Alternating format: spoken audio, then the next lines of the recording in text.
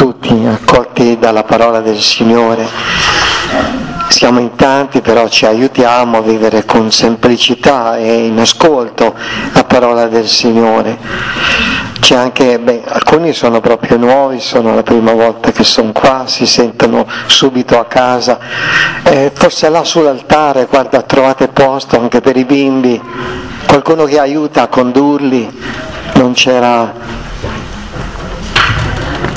Ecco, c'è anche eh, insieme ai tanti che spesso è così, però c'è un gruppo di giovani coppie, come vedete anche con un po' di loro bimbi, eh, sono di, della parrocchia di San Vito al Giambellino di Milano con il loro parroco che è Don Antonio e faranno una o due giorni qui un poco del loro incontro. Poi mi piace dire che ci sono anche cinque amici di Bergamo, eh, ci sono quattro giovani che cominciano da oggi a fare eh, giornate di esercizi perché martedì sera eh, il loro vescovo di Bergamo li ordina diaconi. Quindi insieme con loro c'è Don Gianni che è il loro padre spirituale, però è bello, cominciano il loro momento insieme a noi, eh, facendo insieme questa opportunità di ascolto. E allora, come sempre, andando a vedere nei giorni scorsi che cosa ci hai regalato, Signore, qual è stato il tuo dono per noi. E quando poniamo la domanda così, ci diventa naturale che il cuore si riferisca a quel dono cioè il dono della parola del Signore. C'erano anche tra i brani dell'Apocalisse che diventavano preghiera anche un testo diretto ad una chiesa. Prima di cominciarlo, il nostro momento di ascolto, ora lo ascoltiamo questo testo. Lo leggi Sergio.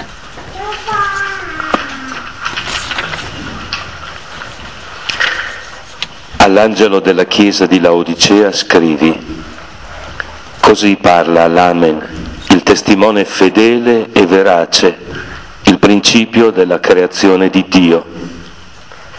Conosco le tue opere, tu non sei né freddo né caldo, magari tu fossi freddo o caldo, ma poiché sei tiepido, non sei cioè né freddo né caldo, sto per vomitarti dalla mia bocca dici sono ricco, mi sono arricchito, non ho bisogno di nulla, ma non sai di essere un infelice, un, miser- un miserabile, un povero, cieco e nudo. Ti consiglio di comprare da me oro purificato dal fuoco per diventare ricco, vesti bianche per coprirti e nascondere la vergogna, la vergognosa tua nudità, collirio per ungerti gli occhi e recuperare la vista. Io tutti quelli che amo li rimprovero e li castigo. Mostrati dunque zelante e ravvediti. Ecco, sto alla porta e busso. Se qualcuno ascolta la mia voce e mi apre la porta, io verrò da lui, cenerò con lui ed egli con me il vincitore, lo farò sedere presso di me sul mio trono, come io ho vinto e mi sono assiso presso il Padre mio sul suo trono. Chi ha orecchi, ascolti ciò che lo Spirito dice alle chiese.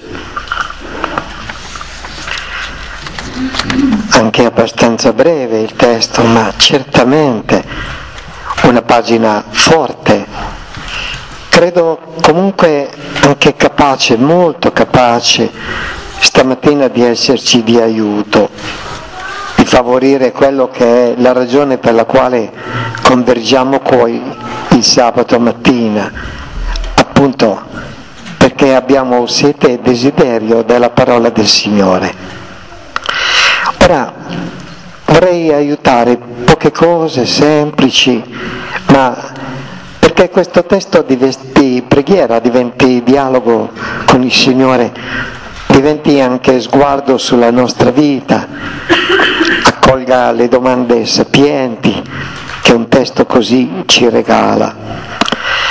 E cosa notiamo? C'è sempre perché sono le sette lettere alle sette chiese dell'Apocalisse, noi evidentemente ne abbiamo scelta una soltanto, ma eh, hanno sempre una struttura identica e forse richiamarlo qui già ci aiuta a entrare e incominci subito a dire ma forse sta scrivendole anche a noi, alla Chiesa di oggi, alla Chiesa del Giambellino di Milano, alla Chiesa di Bergamo, alle nostre chiese. Il Signore, le lettere è lo Spirito che ci parla. Quindi questo è un testo che prende. Avverti che non è una missiva generica, una comunicazione fatta così, è una parola destinata a ed è lo Spirito che parla alle chiese. All'inizio, dopo aver detto qual è il destinatario, questa è la chiesa di Laodicea, c'è sempre la presentazione di Gesù. Notiamo? Lo presenta come l'amen, il testimone fedele e verace, il principio della creazione di Dio Ogni, ogni lettera ha questa presentazione singolarissima e splendida di Gesù. Siamo a tu per tu con Lui nell'ascolto di questa parola. Il nostro non è un ascoltare da soli e isolati, è un ascoltare mentre siamo insieme, in tanti, come Chiesa del Signore, ma insieme a Lui, principio della creazione di Dio, dice il testo. Coraggio, coraggio, andate, andate trovate posto. Eh? E qui comincia la parola concreta detta a quella chiesa, in questo caso è la chiesa di Laodicea. E su questo evidentemente ora torneremo ma mentre dice queste parole severe e insieme bellissime e comunque incoraggianti, non hanno il tono della sentenza, ma hanno il tono dell'augurio, prendono per mano, aiutano a fare dei passi. Bene, tutto questo però ce lo dice anche comunicando il come ce lo dice ce lo può dire dall'alto in basso, facendosi sentire dei poveretti, o ce lo può dire con un atteggiamento ben diverso. Pensate solo a questa frase. Io, tutti quelli che amo, li rimprovero e li castigo. Oh. Ma allora ci parli perché ci ami.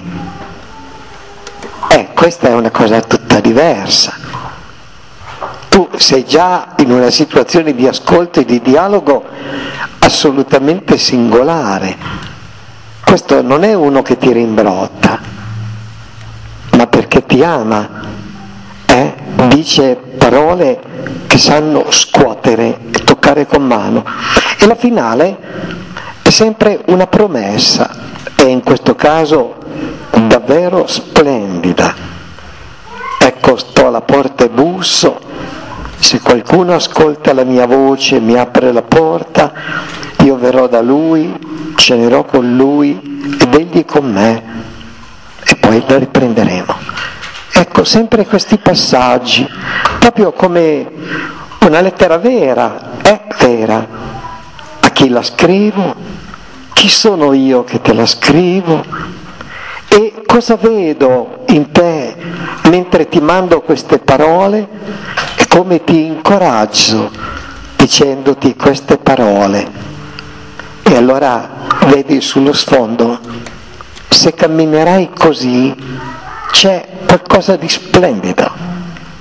Queste parole finali della promessa, anche in questo caso per noi stamattina, sono parole di una bellezza davvero unica. Allora, tentiamo di aiutarci e di entrare un poco in tutto questo. Ciao, avanti, avanti. Vai, vai su, vedrai che ti aiutano a trovare qualche posto. Non c'era. Eh? Eh. Ed è, è questo passaggio davvero tra i più duri in assoluto del Nuovo Testamento.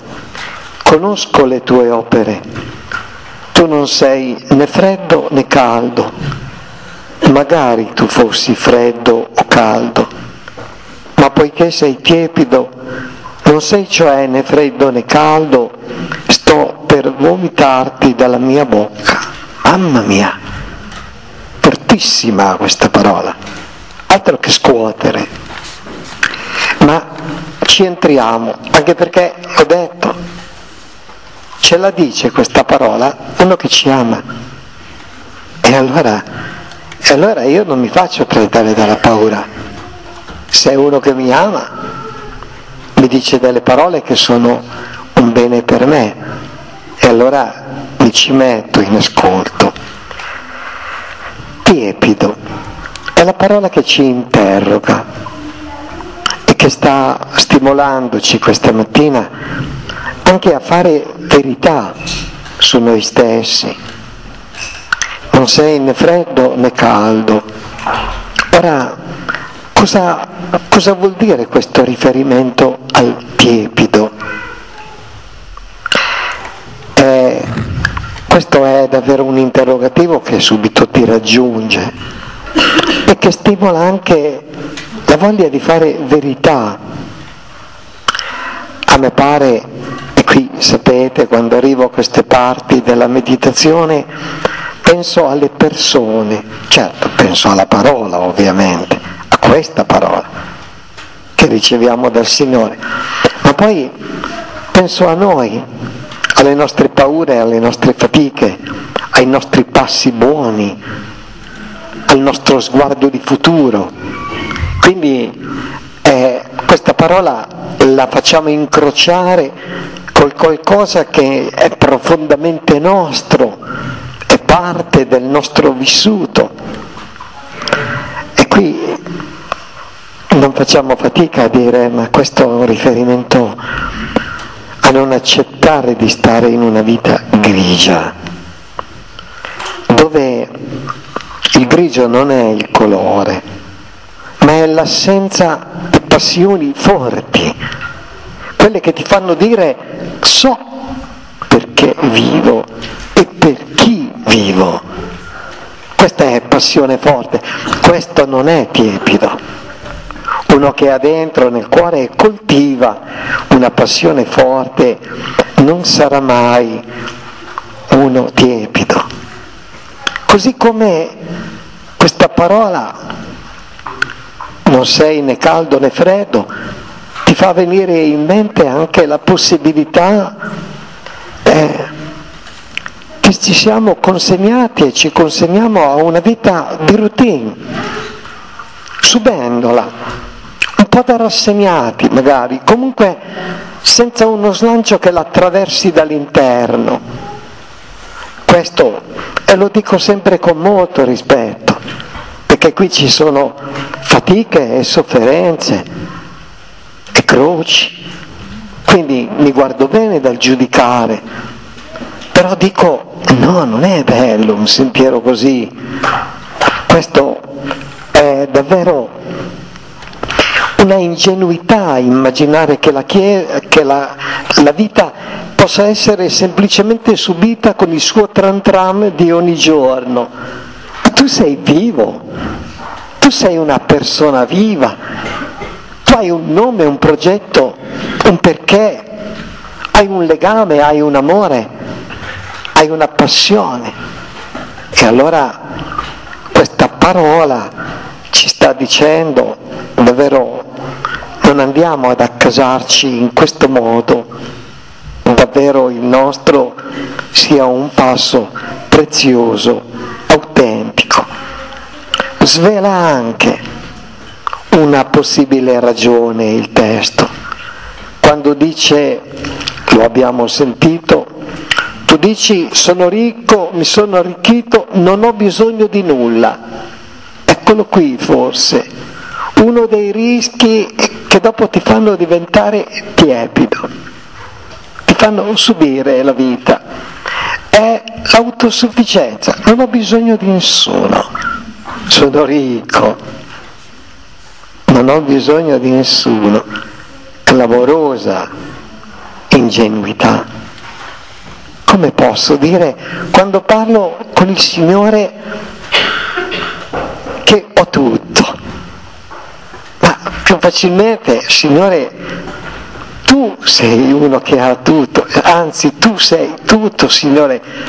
Io francamente sono un povero, faccio quello che posso e quello che riesco, ma sono un povero quindi svela il testo una delle possibili ragioni che poi possono condurre ad una vita insignificante, senza sapore, senza coraggio, senza slancio. E allora, a fronte di una parola così, tu non hai voglia semplicemente di subire quanto il Signore ti ha detto, ha voglia di ospitarlo e dire Signore, ma allora con questa parola che posso fare nella mia vita? Che passi mi sarebbero anche alla portata reale? Quali i contesti da smuovere? Quali gli atteggiamenti da purificare? Quale il modo per riscaldare il cuore perché non viva semplicemente subendo una vita?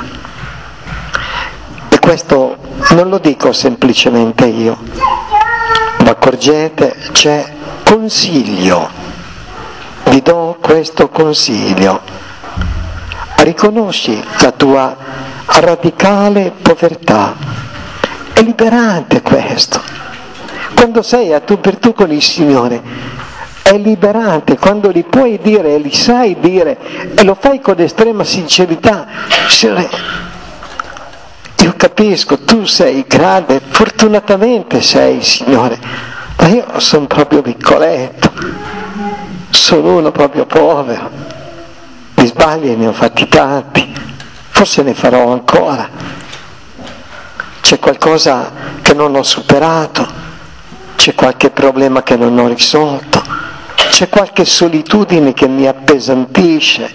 Ecco, questa capacità di entrare, questo è già un segno di uno che ha finito di fare il chiepido, ha finito, se accoglie un consiglio così e arriva a dire a se stesso e al Signore, io sono davvero dentro una radicale povertà,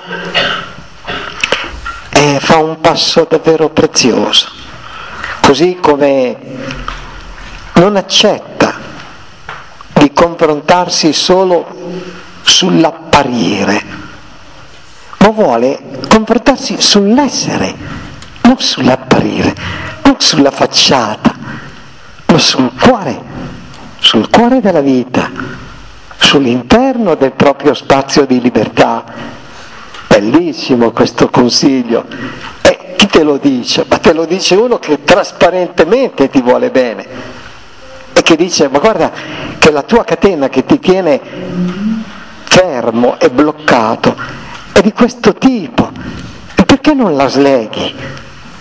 E perché non te ne liberi? E perché non riparti? E questo a me pare davvero una consapevolezza profonda. Ci si rifugia nell'apparenza, eh, mentre in realtà siamo dei poveri, in una, dice il testo, totale nudità, perché sto parlando con te, Signore della storia e Signore della vita, Signore che sei vicino, che sei accanto, ma sei il Signore, sei il Signore. E questo non è una frase che ti umilia, è una frase che ti rimette in piedi e che ti dice guarda, lui che è così grande ha cura anche per un piccino come me, per un povero come me. Tu sei grande, Signore. E allora dammi quel collirio che mi lascia vedere bene. E stamattina questo può essere una preghiera bellissima, no? Dammi la capacità di vedere dentro, Signore, a che punto sono, chi sono, cosa è diventata la mia vita, qual è stato ed è il mio cammino. È davvero, vedi, una pagina che scuote immediatamente, quando davvero tu termini di ascoltare una parola come questa e l'hai davvero ascoltata, vuol dire ti sei già messo per strada, stai già cercando e questa è una cosa di enorme bellezza e importanza. Uno qui ha già lasciato il rischio eventuale della tiepidezza, l'ha lasciato totalmente alle spalle, totalmente. Ha già cominciato da semplice, con i primi passi se vuoi, oppure ha ritrovato comunque il coraggio di smarcarsi dalla situazione in cui di fatto era quando questa parola l'ha raggiunta. La capacità di parlarci della vita e di parlare di noi nella tua parola, Signore, è sempre straordinaria e grande. Chi di noi adesso non è già dentro questo dialogo? Questa è una parola che parla di noi anche e della nostra vita. E se poi chi ce la dà questa parola non ha la toga di un giudice, ma il cuore di un padre, è solo dono, no? È solo grazia. E anche un sabato qualunque di fine ottobre può diventare uno spazio reale di grazia e di vita. Notiamo l'ultima cosa del testo, lo splendore di questa bellezza, di questa promessa, lo splendore. L'immagine, mm, ognuno ognuno pensa anche alla propria casa, a ciò che di più caro ha. Dice, ecco, sto alla porta e busso. Se qualcuno ascolta la mia voce e mi apre la porta, io verrò da lui, cenerò con lui ed egli con me. Questa è una parola bellissima. Questo è il Signore. Sto alla porta io sto alla porta e busso. Se uno apre, io entro, entro e starò e cenerò con lui. Sembrano simboli inimmaginabili se tu li rapporti a Dio, ma questa abbiamo ascoltato, è quello che questa pagina questa mattina davvero ci dice, cosa di straordinaria bellezza. Faccio una piccola parentesi, a che mi ha raccontato una volta un mio amico giornalista, proprio su questa pagina. Dice, e probabilmente, evidentemente diceva perché l'aveva sentito dai presenti, che è stata una parola decisiva nel momento del conclave in cui sarebbe stato poi eletto Papa Francesco. Perché cardinale di Cuba, che era molto amico del cardinale Bergoglio, era rimasto commosso, commosso dalla parola che Bergoglio aveva detto. Ognuno aveva tre minuti e allora lui ha fatto il suo piccolo intervento partendo da questo testo e dice quante volte ci avrà aiutato. Dopo questo testo è diventato noto perché cardinale Ortega non ha saputo tacere, tanto non è un particolare segreto del conclave questo, no, ha citato l'Apocalisse, è parola di Dio, la citiamo anche per noi questa mattina, quindi era perfettamente lecito parlare. Ma lui aveva fatto l'intervento dicendo, questo testo stamattina io sento che lo possiamo, eh, tutti noi cardinali che siamo qui in conclave, leggere anche mettendoci dall'altra parte. Sto alla porta e busso, ma il Signore è già tra di noi. Allora, non potrebbe voler dire questo testo, sto alla porta e busso, lasciatemi uscire. È bellissima questa cosa, è bellissima. E cardinale di Cuba era seduto vicino a Bergoglio, quando lui è venuto gli ha chiesto il tè questo. E Bergoglio gli ha chiesto, gli ha detto, eh, non ce l'ho, ho parlato così, come vediamo che fa molto spesso. Ma la mattina dopo mi portò un fogliettino, sai, i nostri quaderni, eh, fogliettino con quattro righe, erano per quattro punti, il terzo punto era, ecco sto alla porta busso. Solo che lui si era commosso, questo suo amico cardinale, a sentire leggere un testo lasciandolo vero per quello che è, ma situandolo in quella condizione singolarissima di Chiesa. Dopo mi diceva questo amico, quella che è proprio vera, eh, non ti ho contato una storia, tant'è che dopo questo testo è stato reso noto. Era brevissimo, no? E forse non è stato ininfluente questo intervento di Francesco per i suoi amici che stavano ascoltando in quei giorni trepidi dove si tratta di eleggere il futuro Papa. Ora, questa era una sede solenne, noi non ci abbiamo un conclave, siamo un gruppo di gente semplice, a Coceredo, a mille metri, fuori un po' dal mondo, ma bello, però quello che sta alla porta e busso è lui, eh? non è un altro. E la porta è la porta di casa nostra, non è un'altra porta. E questo mi sembra davvero di singolare bellezza. E mi chiedo, andando adagio adagio verso il termine, e mi chiedo, eh, questo testo vedi, lo puoi leggere e pregare sentendoti solo, bellissimo, giusto?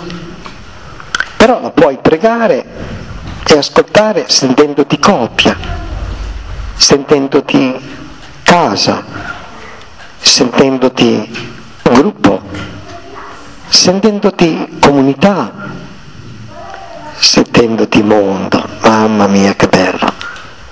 Sta alla porta per bussare, se uno apre io entro e ceno con lui. Anche sentirsi mondo nei confronti di un Dio che non vuole fare l'estraneo, non sta sulle gradinate lontano a vedere, scende, abita la nostra storia, sto alla porta e busso.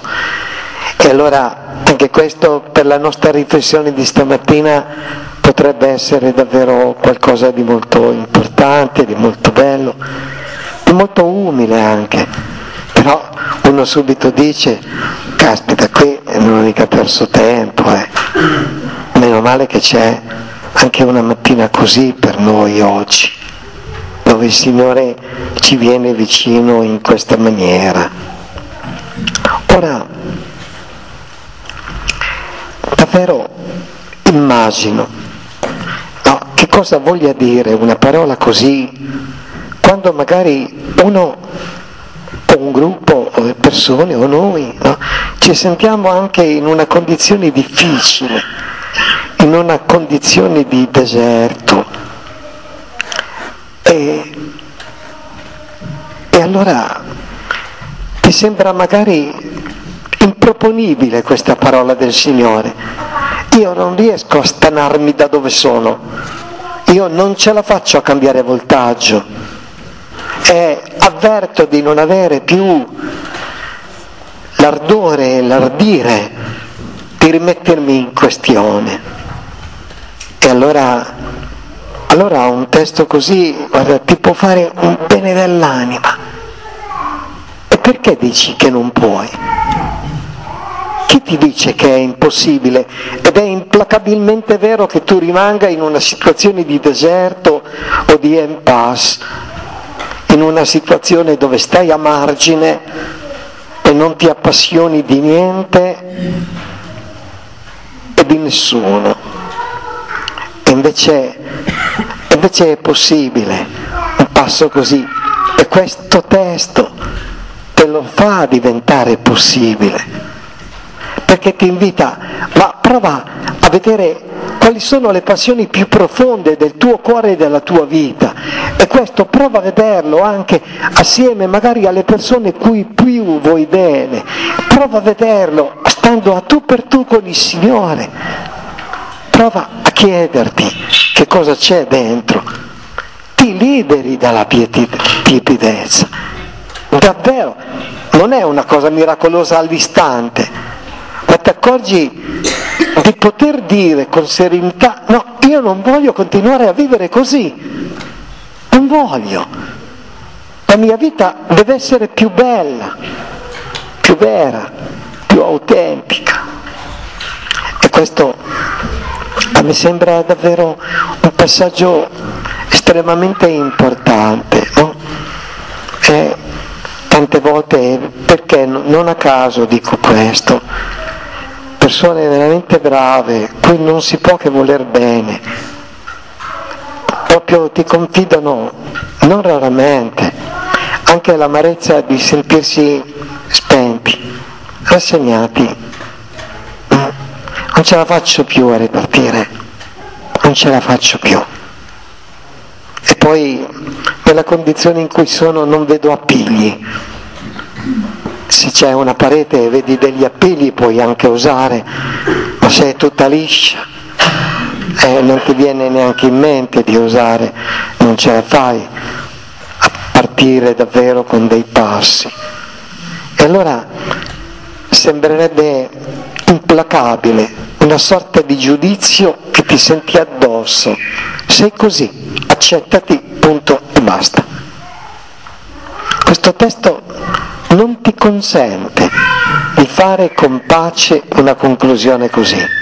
Se la fai, questo testo ti contesta, senza fare battaglie, senza offendere, semplicemente dicendoti che cosa io vedo di te, che cosa io vedo possibile di te e ti chiede e ti dice sto alla porta e busso, se tu apri io entro e cenerò con te. Questa è una cosa davvero importante e preziosa. E quando era stato proprio un po' ieri sera, un po' stamattina presto, quando mettevo a fuoco un po' l'ultimo, l'ultimo pensiero per la meditazione, e mi è venuta, allora ve la dico, no? una piccola esperienza fatta da lontano di per sé, telefonicamente, ma che mi ha profondamente segnato nella vita, lo riconosco, eh, ce l'ho dentro questa cosa e quindi quando parlo con le persone, quando sento anche le fatiche, mi accorgo di averla dentro. E la, nella forma più breve e semplice possibile forse un po' tutti conosciamo o sappiamo comunque che esistono quelle fraternità che si chiamano di piccoli fratelli e di piccole sorelle, di Charles de Foucault. No? Proprio gente che vive nei contesti magari anche molto deserti, eh, vive in una condizione povera, semplice, di vita umile, stando accanto, stando accanto. Ora, Charles de Foucault appunto era stato il loro iniziatore e sta diventando sempre di più una figura che continua a parlare alla Chiesa di oggi. Ma c'era stato dopo di lui, diventato una figura di riferimento come educatore di questi piccoli fratelli, piccole sorelle, poi dopo avrebbe seguito soltanto i piccoli fratelli e la sorella Magdalene avrebbe seguito le piccole sorelle ed è padre Vuillaume. Quel suo libro, eh, forse non l'abbiamo, eh, se lo vedeste nella casa del vostro parroco o del vostro prete, tanto non lo leggerà più, portateglielo pure via, eh, come loro si intitola, come loro. No, ha scritto un libro bellissimo, in, uno, in un libretto alto, scritto, eh, mi dice, vedi, quando tu sei, io ho imparato nella mia vita a riconoscere che quando tu sei nella sincerissima situazione di chi dice non ce la faccio, non ce la faccio. Non hai solo due strade. La prima, getto la spugna e mi dimetto, non lotto più. La seconda è mi arrangio. Così è troppo. Prendo una mezza misura, galleggio, vado avanti, ma non ce la faccio più di così. No, c'è anche una terza soluzione. E io queste parole ce le ho dentro proprio come le parole eh, che, che, non so, penso il Signore attraverso questa strada, il Padre Voglion, le ha dette poi a me. No, guarda che c'è una terza strada, che proprio perché quando sei convinto di non potercela fare e di non sapercela fare, tu puoi semplicemente far venire a galla una parola di Vangelo. Nulla è impossibile a Dio. Con questa parola prova a riaffidarti al Signore. Questa cosa, confesso, mi ha fulminato. Tant'è che io ero convinto in quel momento, stavo aiutando eh, il cammino di tanti giovani preti, alcuni sono qua, e, e quindi eh, la mia vita era un po' quella, no? Ma poi la mia vita, perché anch'io mi sentivo messo in questione, no? Io ero convintissimo che padre Voyon fosse morto, perché aveva già abbondantemente superato i 90 anni da diversi anni, e difatti mi hanno detto ne aveva 96. Mm? Solo che sono passate dal luogo dove io vivevo, eh, sono passate tre eh, giovani donne, piccole sorelle. Allora eh, volevano vedere, chiedevano cosa si fa di bello, eh, se potevano sentire o incontrare il cardinale Martini, mi dicevano queste cose molto semplici. No? A un certo punto dal loro parlare io mi sono accorto che parlavano di Voyon, ma da vivo, come se fosse vivo. Io evidentemente mi sono guardato bene dal dire, ma io pensavo che era già morto, no, volevo fare questa figura, eh, però l'avevo davvero pensato. Quando ho capito questo, gli ho detto, ma vi potrei chiedere la maniera di raggiungerlo per telefono? Perché avevamo iniziato da qualche mese un'esperienza bella, proprio bella, che poi è andata avanti, sta continuando anche ora, scuola pratica di accompagnamento spirituale, scuola pratica di accompagnamento spirituale. E venivano in tanti, preti, religiosi, laici, no?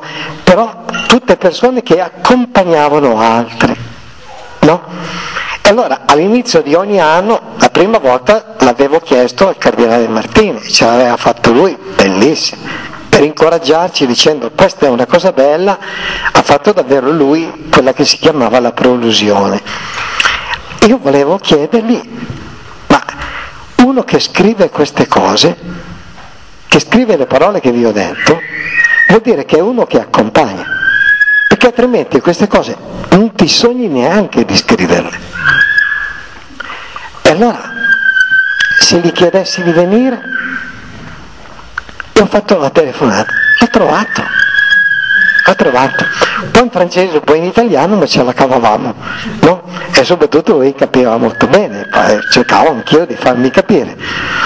E un certo punto mi ha veramente commosso, perché io gli ho detto, guarda, stiamo facendo una cosa bella, poi ho letto questo tuo libro sulle strade del mondo, quel, come loro che ho detto è il libro più importante di Voyon. Sulle strade del mondo era un libricino. No?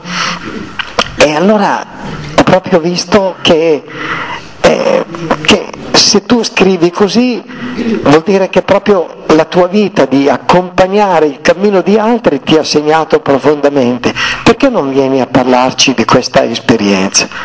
Esperienza, eh? Non ti chiedo una, dottri- una, una conferenza togata, no, un'esperienza. Non mi aspettavo la risposta, perché lui mi ha detto, io sono molto commosso, Don Franco, di questa domanda.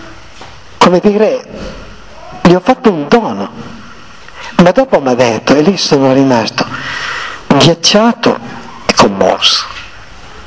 Mi ha detto, vedi, ma questo è il clero di Milano, è il clero del Cardinale Martini.